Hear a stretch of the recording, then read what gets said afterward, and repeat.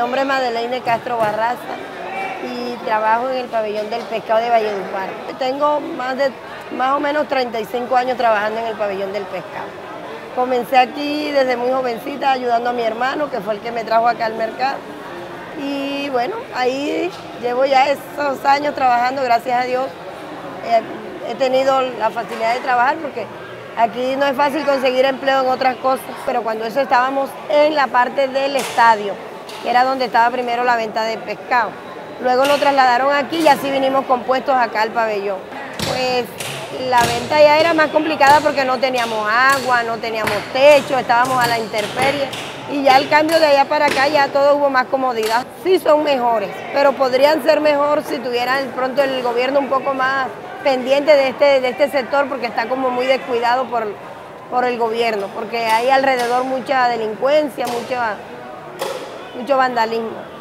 Vivo en el barrio Los Fundadores, aquí de Valledupar, tengo tres hijas que gracias a la venta de pescado y al, y al pabellón ya tengo casi todas tres profesionales, tengo dos abogadas, una terminando ya enfermería, gracias a la venta del pescado porque eso es lo que me he dedicado siempre. Me levanto a las 2 de la mañana, llegamos aquí eso de 2 y media a 3 de la mañana, de aquí me voy a las 3 de la tarde, eh, luego, bueno, descanso un rato, reposo, almuerzo, reposo.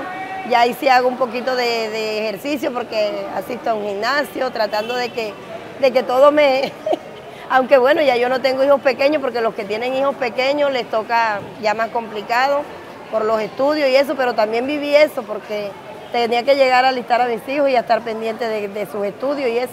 Aquí recibimos el, el pescado de toda la ribera del río Magdalena, también recibimos de del río Atrato, del río, del río Arauca.